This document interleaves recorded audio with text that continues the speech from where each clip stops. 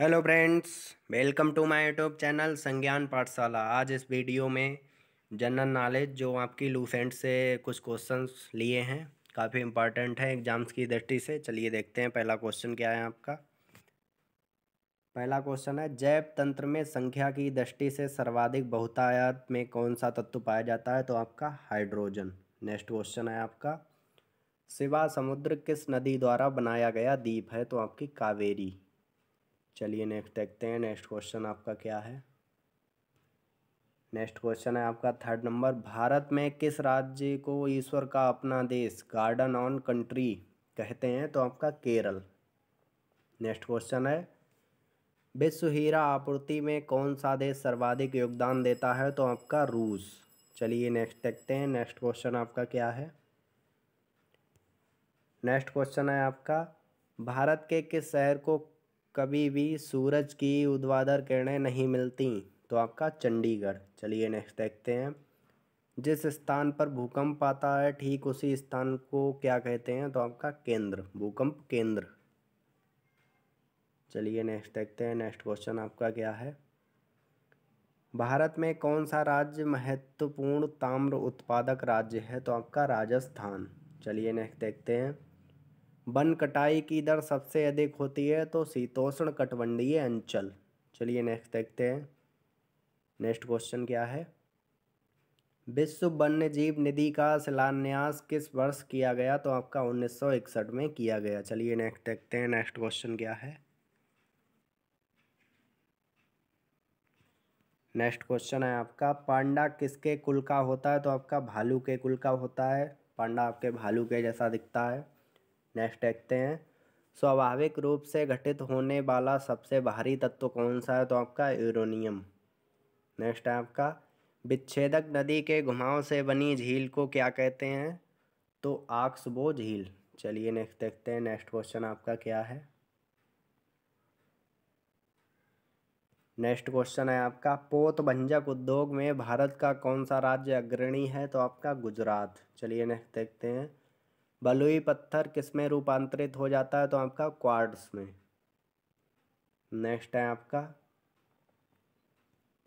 भारत के किस राज्य में क्षेत्रफल एवं जनसंख्या की दृष्टि से समान रैंकिंग स्थिति है? तो आपकी मेघालय में। नेक्स्ट है, जो वन चक्रवातों के अवरोधकों का कार्य करते हैं, वे वन कौन से हैं? तो आपका मैनग्रोव वन। नेक्स्ट है आपका। भारत में सबसे ऊँची चोटी कौन सी है? तो आपकी केटू गार्डविन, आस्टिन। ये भारत की सबसे ऊँची चोटी है और वर्ल्ड की दूसरी सबसे ऊँची चोटी है। पहली माउंट एवरेस्ट है, जिसकी ऊंचाई आपकी अट्ठासी अड़तालीस से अठासी पचास मीटर है और जो आपकी नेपाल में स्थित है। नेपाल में माउंट एवरेस्ट को सागर माथा कहा जाता है। चलिए नेक्स्ट देखते हैं। हवा के तेज वेग से बने रेतीले टीलों को क्या कहते हैं? तो मरु टिब्बा ड्यून। नेक्स्ट है आपका। नेक्स्ट क्वेश्चन है आपका। विश्व के सभी भागों में तेईस सितंबर को दिन और रात की समान लंबाई को क्या कहते हैं? तो शरतकालीन विश्व नेक्स्ट है आपका। विश्व का सबसे बड़ा द्वीप कौन सा है? तो आपका ग्रीनलैंड द्वीप विश्व का सबसे बड़ा द्वीप है। नेक्स्ट क्वेश्चन है आपका। ईंटों के निर्माण में कौन सी मिट्टी का प्रयोग किया जाता है? तो आपका लाल पीली मिट्टी का प्रयोग किया जाता है ईंटों के निर्माण में। नेक्स्ट है आपका। भारत में किस राज्य को धान का कटोरा कहते हैं? तो आपको आंध्र प्रदेश। आंध्र प्रदेश राज्य को भारत में धान का कटोरा कहा जाता है, क्योंकि यहाँ पर धान की पैदावार काफ़ी अच्छी होती है। चलिए नेक्स्ट क्वेश्चन देखते हैं। भारत के किस राज्य को चावल का कटोरा कहा जाता है? तो राइस बाउल तो आपका आंध्र प्रदेश को ही चावल का कटोरा कहा जाता है। चलिए नेक्स्ट क्वेश्चन देखते हैं आपका। विश्व की 25 प्रतिशत भूमि को आच्छादित करने वाला सबसे बड़ा वन कौन सा है? तो साइबेरिया का टैंगा वन। नेक्स्ट क्वेश्चन है आपका। सूर्य या चंद्रग्रहण में पृथ्वी की छाया कितने भाग में विभाजित हो जाती है? तो आपकी तीन भाग में विभाजित हो जाती है। चलिए नेक्स्ट क्वेश्चन देखते हैं। नेक्स्ट क्वेश्चन है आपका। डेमोक्रेसी शब्द किस भाषा से लिया गया? तो आपकी ग्रीक भाषा से लिया गया नेक्स्ट है, राज्यपाल द्वारा जारी अध्यादेश विधानसभा द्वारा कितने समय में पारित करना होता है? तो आपका छः सप्ताह के अंदर पारित करना होता है। चलिए नेक्स्ट देखते हैं। नेक्स्ट क्वेश्चन है आपका, किस राज्य में सबसे पहले पंचायत राज प्रणाली प्रारंभ हुई? तो आपकी राजस्थान में प्रारंभ हुई। आपका बहुत ही इंपॉर्टेंट क्वेश्चन है। काफ़ी एग्ज़ाम्स में आपका पूछा गया है, चलिए देखते हैं। चुनाव चुनाव आयोग किस अनुच्छेद के अंतर्गत स्थापित किया गया तो आपका अनुच्छेद तीन सौ चौबीस के अंतर्गत चुनाव आयोग स्थापित किया गया। नेक्स्ट क्वेश्चन है। जहाँ कोई कानून नहीं होता, यहाँ कोई स्वतंत्रता नहीं होती, ये कथन किसने कहा? तो आपका जॉन लॉक ने कहा, ये भी काफ़ी इम्पोर्टेंट है दोस्तों, ध्यान रखिएगा इसको। नेक्स्ट है आपका भारतीय संविधान के किस अनुच्छेद में मुख्यमंत्री के कार्यों को परिभाषित किया गया है? तो अनुच्छेद एक सौ सड़सठ। नेक्स्ट क्वेश्चन देखते हैं। नेक्स्ट क्वेश्चन है आपका। भारतीय संविधान के किस अध्याय में जनता को गारंटी मूल अधिकार दिए गए हैं? तो आपको भाग तीन। नेक्स्ट है आपका। यूएन चार्टर में कितने सिद्धांत हैं? तो आपके सात सिद्धांत हैं। नेक्स्ट क्वेश्चन है आपका।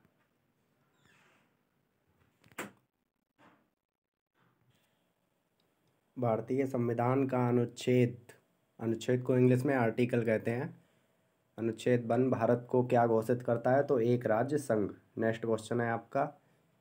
भारतीय संविधान में अवशिष्ट शक्तियाँ किसको सौंपी गई हैं? तो केवल संघ संसद को। नेक्स्ट क्वेश्चन है।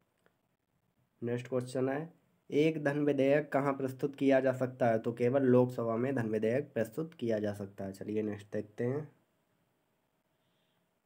नेक्स्ट क्वेश्चन है आपका। नेक्स्ट क्वेश्चन, कौन सा एक निवारक निरोध अधिनियम नहीं है? तो विदेशी मुद्रा अधिनियम, जैसे फेरा। नेक्स्ट क्वेश्चन है, वर्ष 1977 में किसकी अध्यक्षता के अंतर्गत पंचायत राज की जाँच करने के लिए एक सरकारी समिति नियुक्त की गई? तो अशोक मेहता। नेक्स्ट क्वेश्चन है आपका। नेक्स्ट क्वेश्चन है दोस्तों मैकवर कहता है, बंधु बांधवों से समाज बनता है और अंततः समाज से क्या बनता है? तो आपका राज्य बनता है। नेक्स्ट क्वेश्चन है, भारतीय संविधान के किस भाग में सामाजिक एवं आर्थिक लोकतंत्र को सुनिश्चित किया गया है? तो राज्य के नीति निदेशक सिद्धांत। नेक्स्ट क्वेश्चन है आपका दोस्तों।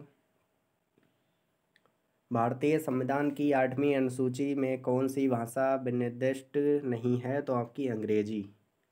नेक्स्ट क्वेश्चन है, कितने देश यूएन जनरल असेंबली के सदस्य हैं? तो एक सौ तिरानवे देश। नेक्स्ट क्वेश्चन है, किस समिति समिति या आयोग ने केंद्र और राज्य से संबंध की जाँच की? तो सरकारिया आयोग। नेक्स्ट क्वेश्चन है आपका दोस्तों। नेक्स्ट क्वेश्चन, भारतीय संविधान के किस अनुच्छेद में सरकारी रोज़गार में नागरिकों के लिए समान अवसरों का प्रावधान है तो अनुच्छेद सोलह, नेक्स्ट क्वेश्चन है। राष्ट्रपति को अपना त्यागपत्र किसे प्रस्तुत करना होता है तो आपका उपराष्ट्रपति को। नेक्स्ट क्वेश्चन है आपका। नेक्स्ट क्वेश्चन है, भारत के प्रथम मुख्य निर्वाचन आयुक्त कौन थे? सुकुमार सेन। नेक्स्ट है आपका। भारत के वह कौन से एकमात्र दूसरे उपराष्ट्रपति हैं जिन्होंने एस. राधाकृष्णन के बाद दूसरी अनुक्रमिक अवधि में पद प्राप्त किया? तो आपके एम. एच. अंसारी। चलिए नेक्स्ट क्वेश्चन देखते हैं। नेक्स्ट क्वेश्चन है आपका दोस्तों। यदि राष्ट्रपति त्यागपत्र देना चाहें तो वह अपना त्यागपत्र किसे संबोधित करेगा? तो भारत के उपराष्ट्रपति को संबोधित करेगा। नेक्स्ट क्वेश्चन है। राष्ट्र संघ की स्थापना कब की गई? तो आपकी 1920 में नेक्स्ट क्वेश्चन है। भारतीय संविधान का कौन सा अनुच्छेद निर्वाचन आयोग से संबंधित है? तो अनुच्छेद 324 चलिए नेक्स्ट देखते हैं।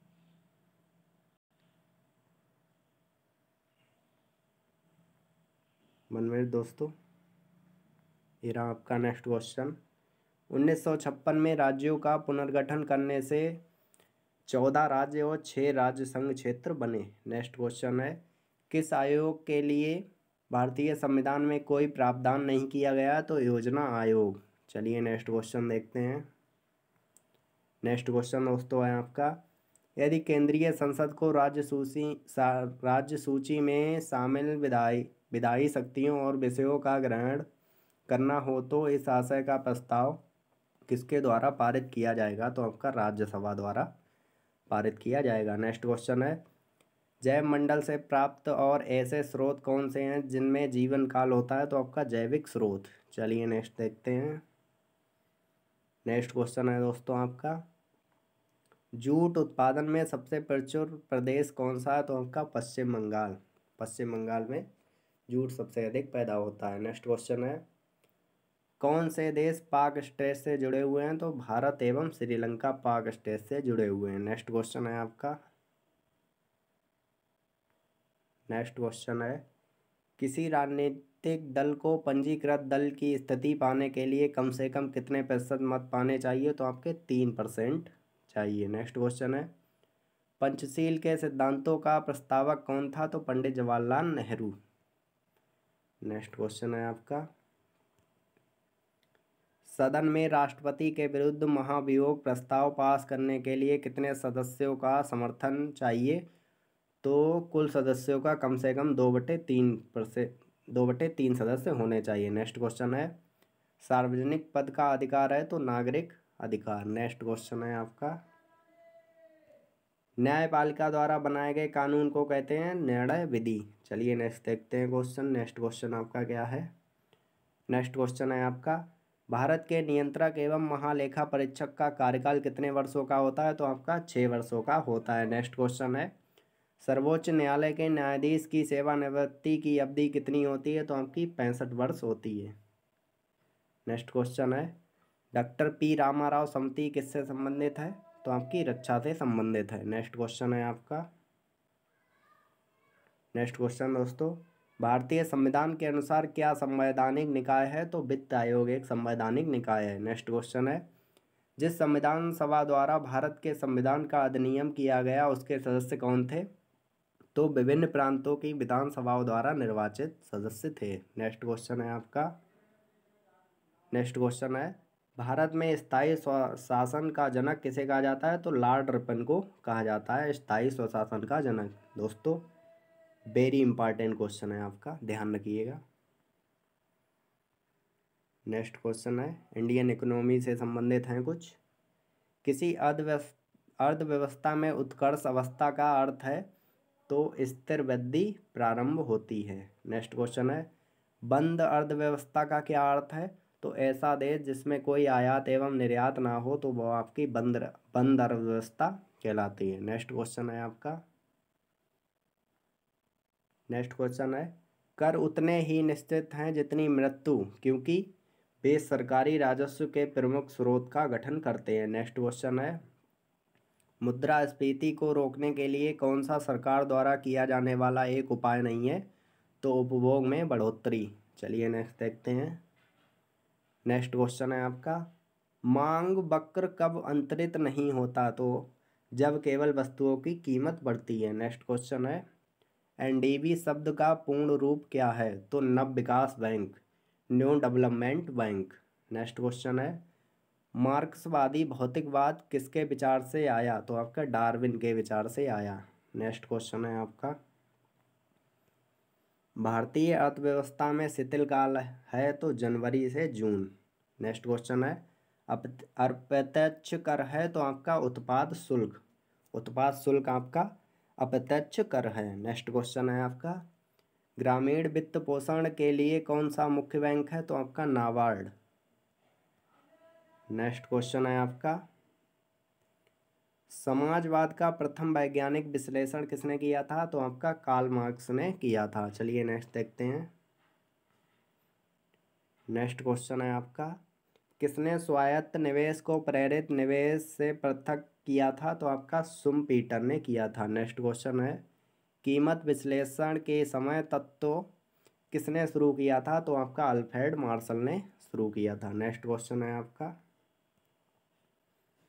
उपभोक्ता को अधिकतम संतुष्टि उस बिंदु पर मिलती है जहाँ सीमांत उपयोगिता बराबर कीमत। नेक्स्ट क्वेश्चन है, किसी फर्म के सुलाभ क्या है तो उत्पादन लागत में बचत। नेक्स्ट क्वेश्चन है, उत्पादन फलन किसके बीच संबंध है तो उत्पादन और उत्पादन कारक। नेक्स्ट क्वेश्चन है आपका, लास्ट क्वेश्चन है दोस्तों आपका, उत्पादन का कोई भी कारक आर्थिक लगान, अधिशेष अर्जित कर सकता है जब इसकी आपूर्ति इस प्रकार होगी। पूर्ण वेलोज दोस्तों, यही थे आपके इंपॉर्टेंट क्वेश्चन जो आपकी कम्पिटेटिव एग्ज़ाम्स की दृष्टि से काफ़ी इंपॉर्टेंट है। और ऐसे ही वीडियो देखने के लिए हमारे चैनल को सब्सक्राइब करें वीडियो को लाइक करें शेयर करें। धन्यवाद।